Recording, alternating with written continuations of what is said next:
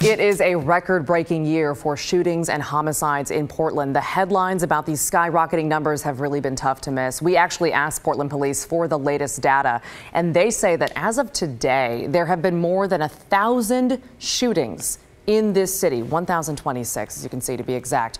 320 people have been hurt in these shootings, and 52 people were shot to death this year. That number far surpassing the record. Now, here at KGW, we have a team working to cover Portland's battle with gun violence, including Mike Benner, who actually sat down with Portland Mayor Ted Wheeler today. And so, Mike, what, what did he tell you? Well, Maggie, as you may have noticed, he has been keeping a pretty low profile. Right. But he decided today was the day to sit down and address gun violence. And he says, uh, like we all have, the record levels of it. And he, of course, he is troubled by it. In the coming weeks, the mayor says he hopes to get a specialized police unit up and running. This would be the focused intervention team. They'll be tasked with uh, intervening and preventing gun violence. He is also hoping to rehire a bunch of retired police officers. But here's the million dollar question. Is this even feasible? Will they want to come back and work in Portland? I do believe so. The chief has already had conversations with uh, folks both in the union as well as rank and file members, and we do believe that there would be interest in this program. And you think this could have a direct impact on the gun violence in our city? There is no question in my mind that if we have the focused intervention team fully staffed, which I expect to have happen next month and deployed, in addition to the enhanced community safety team that I directed the chief to deploy several months ago that makes sure that we have investigative follow up for gun violence.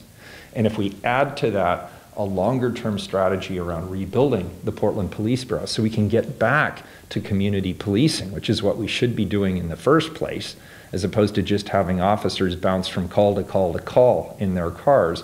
This will definitely have an impact on reducing gun violence. And I want to be clear, because some people will hear me say, well, there goes Ted saying he wants to increase police. Whatever happened to reform? I don't think making sure that the police bureau has the adequate tools, resources, training, and personnel is any way inconsistent with also implementing more community oversight, transparency, and accountability. Hmm.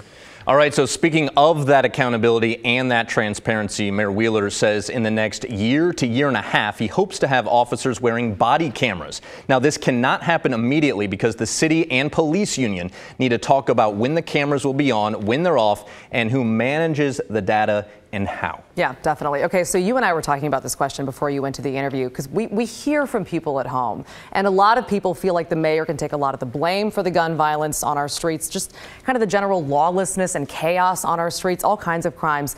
And so I'm curious. Does Mayor Wheeler think Portland has become just kind of categorically unsafe? All right, so we of course asked that question. Yeah. He did not come out and say yes, but he alluded to it. Take a listen do you think Portland is less safe today than it was several years back, say when you were elected or reelected?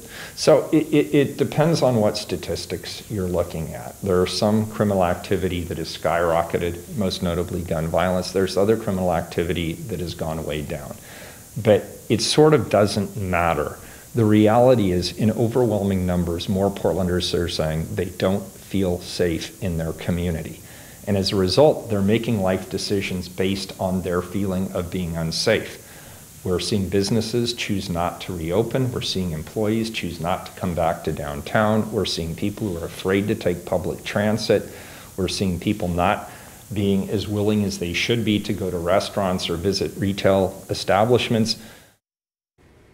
All right, we had about 15 minutes with Mayor Wheeler this afternoon, and Maggie will, of course, post the entire conversation in its entirety on YouTube. All right, Mike Benner, great questions. Thank you very much.